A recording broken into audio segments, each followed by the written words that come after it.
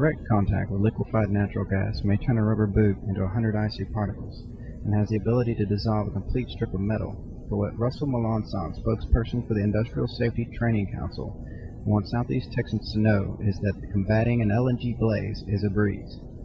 We're going to put 6,000 gallons of LNG into an 8-foot deep pit and set it on fire, Melancon told a group of spectators before a special LNG demonstration at the Beaumont Emergency Service Training Complex Thursday.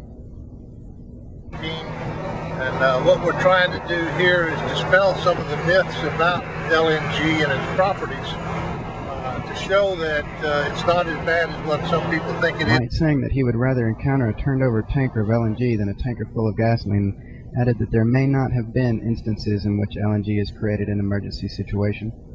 This stuff is not as bad as many people think, he said. We just simply do not have many cases in which LNG has caused emergency situation. But we are here today to learn how to combat an emergency if a situation arose.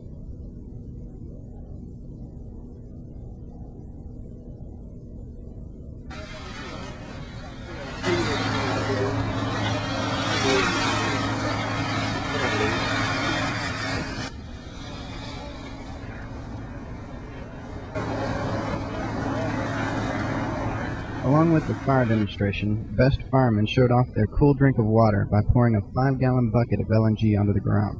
Cold vapors swept across the ground, but ultimately harmed nothing. A rubber boot left in the LNG pit, however, could not boast such a pleasant ending.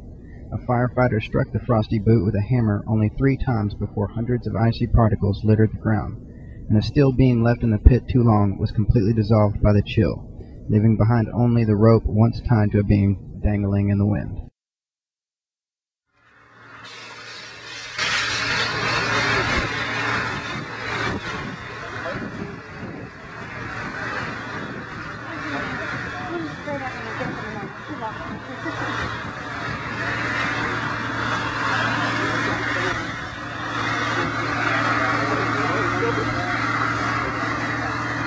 All right, that job well done.